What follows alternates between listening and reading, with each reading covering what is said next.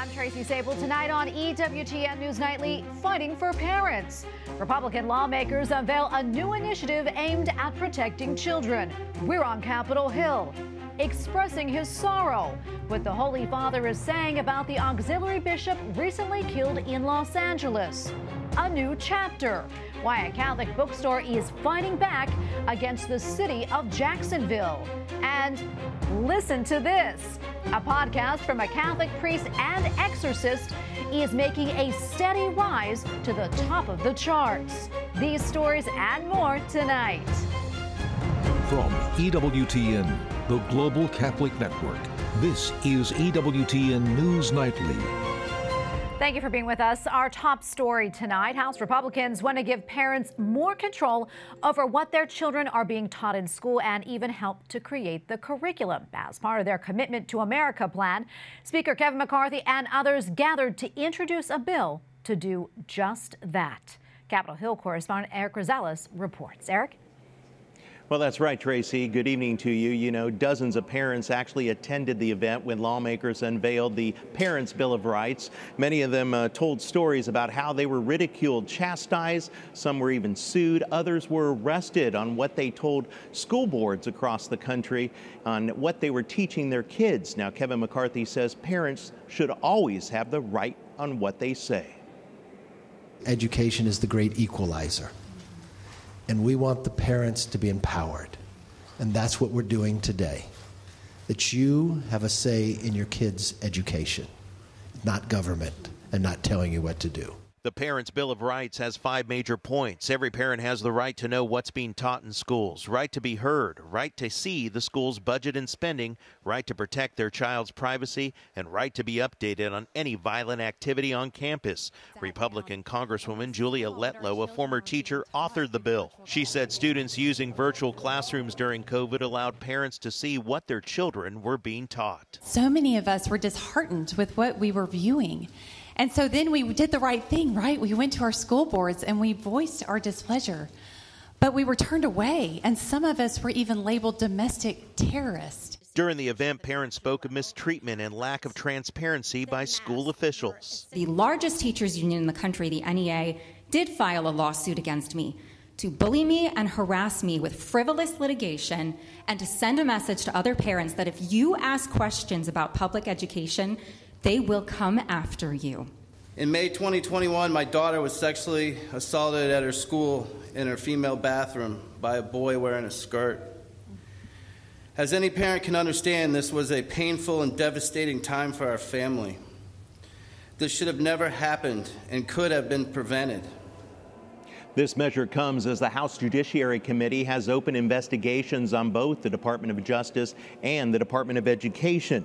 What's next for the bill? Well, it heads to committee for debate and then on to the floor for a vote. We do want to let you know about something else. Embattled Congressman George Santos now has a uh, ethics committee violation investigation going on against him. We'll continue to follow that story as it develops. At the Capitol, Eric Rosales, EWTN News Nightly. Uh, giving more money to tax deductible uh, to your favorite nonprofit may soon be allowed. A bipartisan bill called the Charitable Act has been introduced by Democratic Senator Chris Coons and Republican Senator James Lankford.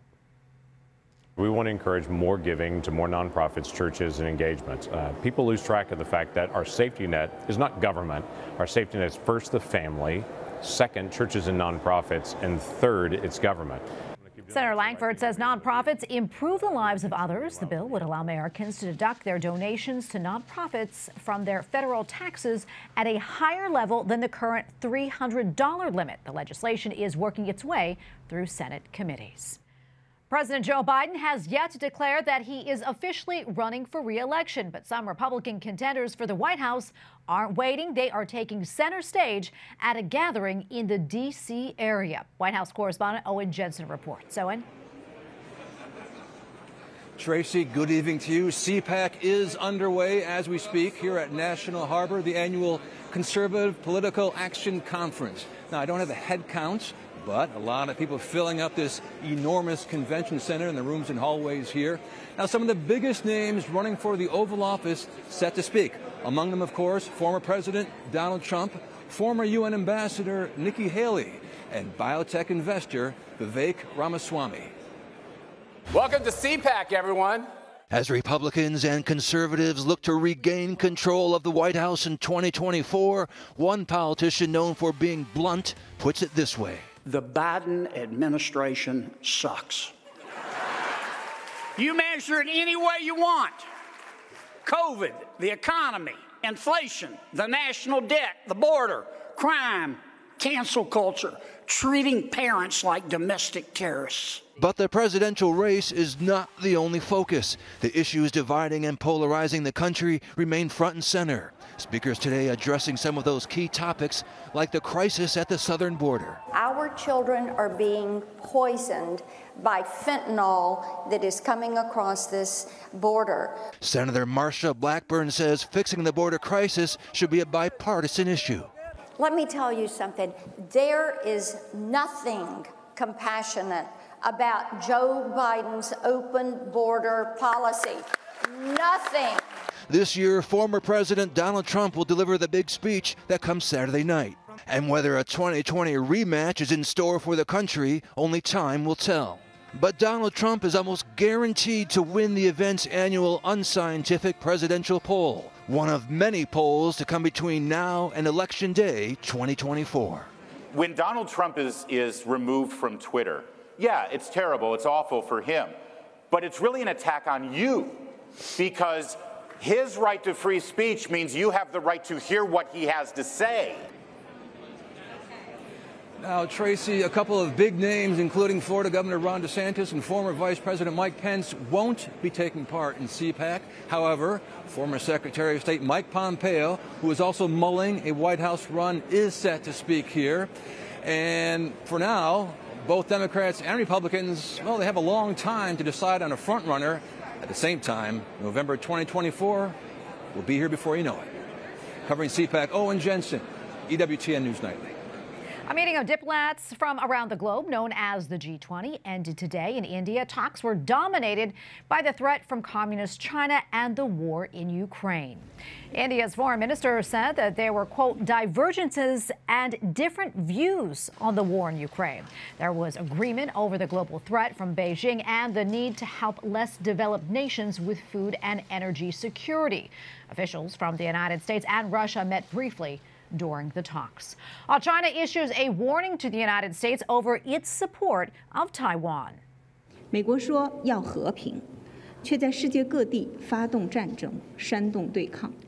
Beijing says a recent arms sale from the U.S. to Taipei is, quote, walking on the edge. It also says the deal, largely for weapons for fighter jets, quote, seriously violates Chinese sovereignty and shows signs of promoting war. Matt, we have a lot more still to come here on EWTN News Nightly, including message of sadness.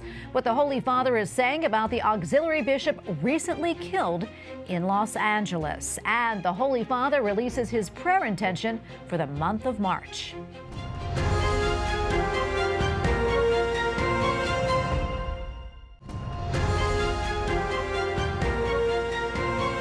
Pope Francis is expressing his sorrow over the death of an auxiliary bishop in Los Angeles. In a letter to the head of the Archdiocese of Los Angeles, the Holy Father said that he is praying, quote, that all who honor Bishop O'Connell's memory will be confirmed in the resolve to reject the ways of violence and overcome evil with People good. me, Bishop David O'Connell was shot and killed in his Los Angeles home late last month.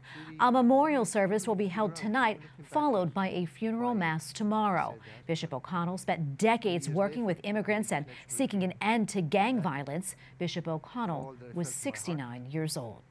Lawmakers in West Virginia have approved a measure to protect religious freedom. The bill guarantees help against any state interference that might, quote, substantially burden a person's right to the exercise of religion. The measure now heads to the desk of the state's Republican governor.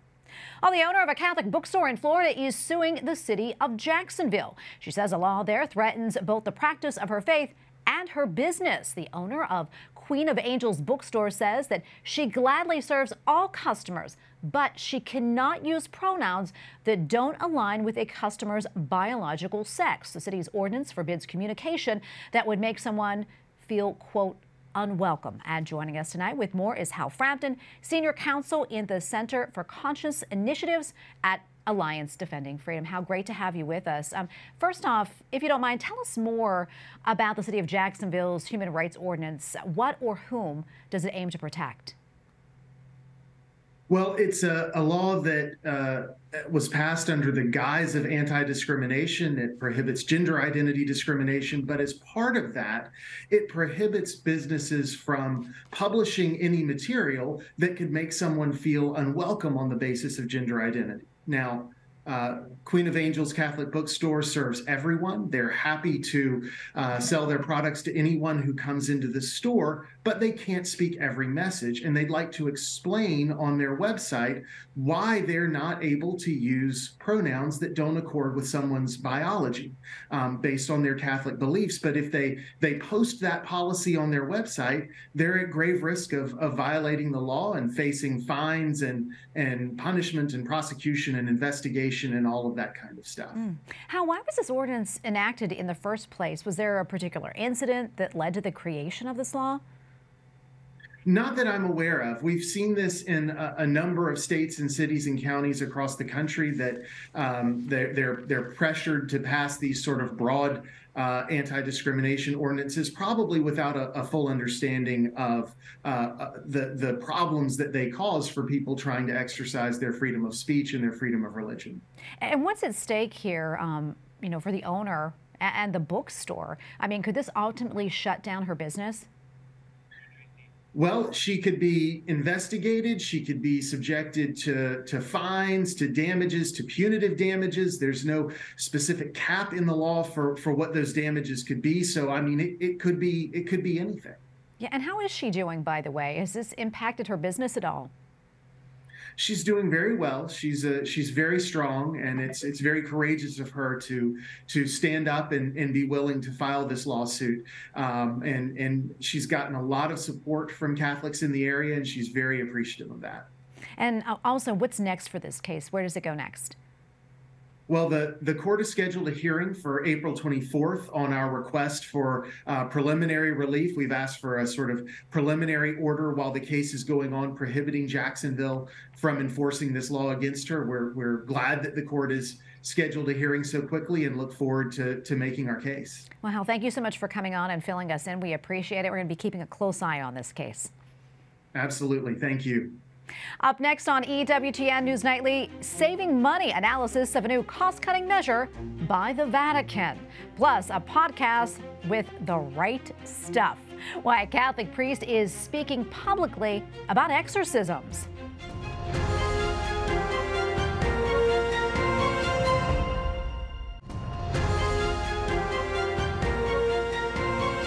The Holy Father responds to church sex abuse cases and says asking for forgiveness is not enough.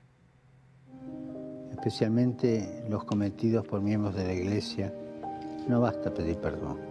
Pope Francis dedicated his prayer intention for the month of March to the victims of sex abuse. He says the church must serve as an example and help solve the issue by bringing it to light. The Holy Father has also called for safe spaces within the church. Uh, Pope Francis unveils a measure aimed at saving money. He says that he is cutting housing perks for cardinals and Vatican managers. The decision means cardinals and other high level officials will no longer be able to live in Vatican connected apartments for free or at special prices. The move comes two years after the Holy Father announced that he was cutting cardinals' salaries by 10 percent. Joining us now from Rome is Andreas Thonhauser, EWTN Vatican Bureau Chief. Andreas, great to see you as always. Uh, can you tell us more about this decision from the Holy Father and why is he releasing it now? Sure. So it's not a secret that over the last years, the Vatican has faced, let's call it challenges uh, when it comes to finances. For a long time, Pope Francis had made it clear that a change in the restructuring of the financial management is much needed. And in fact, he has changed a lot already. The news that from now on cardinals and church managers will have to pay for their apartments are only a small thing in a long line of changes that have happened and still will happen here at the Vatican in the future. Because almost exactly a year ago, on March 19th, Pope Francis announced the new apostolic constitution, Praedicate Evangelium, which is Latin for preach the gospel and which took effect in June last year. And this new constitution restructured, so to say, the Roman Curia, which is the church leadership. Changes to the financial management structures have happened in addition, and uh, especially also with the latest motu proprio being issued just one week ago. The legal text, uh, it's called Il Diritto Nativo, which is Italian for the inherent right, reaffirms that all assets owned by organizations of the Holy See may never be seen as private, but are public church property at the service of the mission of the church. Andreas, how much money were you talking about here? And also curious, how much is the rent for cardinals or other high level Vatican officials? So, well, in summer 2022, when the Holy See released its financial numbers for 2021, the statement showed a deficit of around 3 million euros. However, the Vatican Secretariat for the Economy, uh, the, then, uh, the then prefect, they were quick to put the deficit into context. There were projections, they said, of a deficit of amounting to about more than 30 million euros or dollars. It turned out to be only a tenth of that. And against a balance sheet of several billion, 3 million are certainly not a lot. According to the Secretariat of the Economy, uh, at that time, for the last couple of years, assets have been sold in order to avoid too big of a deficit. And the prefect of the Secretariat spoke of more than 20 million that are missing every year. A big liability that is looming over the Vatican finances is the pension funds of the Curia. There are commitments of close to a billion euros, which at this moment would not be sustainable in the long term. A problem that will only increase when the Vatican will be looking to hire more lay people into the ranks of the Curia who will have a certain pension and healthcare requirements. And this is something that the new constitution, which came into effect last year, is certainly facilitating, if not even pushing. Well, Andreas, it sounds like the reorganization really appears to be necessary.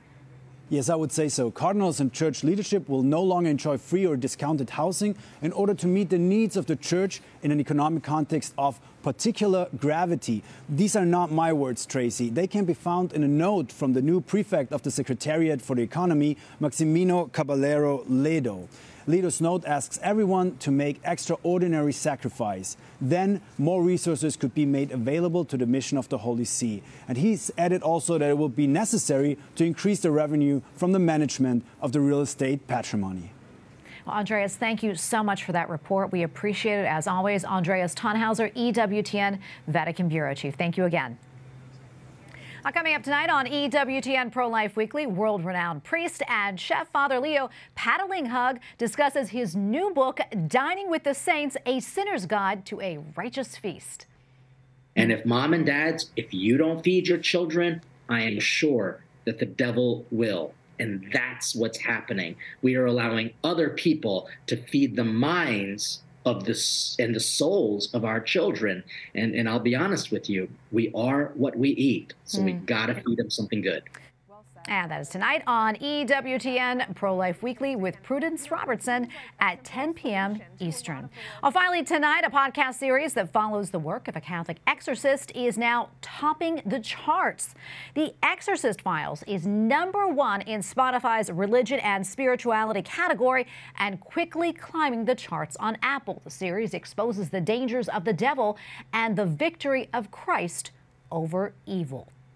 And joining us tonight is the host of the Exorcist Files, Father Carlos Martins. Father, thank you so much for joining us. Great to have you with us. Um, you are an exorcist yourself and you have a lot of experience in this area.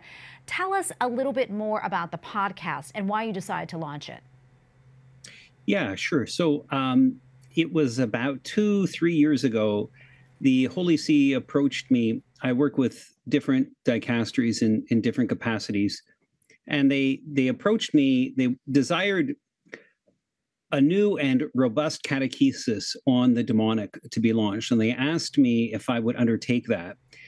And so I decided to do that in several phases. And the first phase is this podcast. And I selected a podcast uh, for a number of reasons. One, it was just much easier to do than video. And today, people are listening to things on their phones more than they're watching things on TV. And so I opted for this um, because it is easy audibly to show a dramatization, and a dramatization is useful because it better shows the adversarial nature of evil. It, it, it, show, it shows people what can happen when we allow evil to enter into our lives.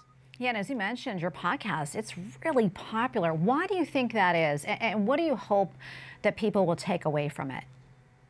Sure. So I guess, you know, evil is, it strikes something primordial within us. And evil is a perennial bestseller in, in, in terms of drama. But evil, when it comes to talking about the devil, the ancient serpent, it strikes the most primordial nature within us. People have an, an attraction, a, a, a curiosity to that. And the podcast offers a robust theological teaching, something that I, I think has been lacking. And people are tuning into that because they're receiving something that they're not getting. And people can tune into the podcast at exorcistfiles.tv. Exorcistfiles.tv. There numerous episodes that have already launched. The season will consist of 14 episodes, and they will cover various theological topics pertaining to evil. And I know you mentioned they're reenactments, but they're reenactments of, of, actual exorcisms that you performed, but you wanted to keep the victims' information and themselves confidential.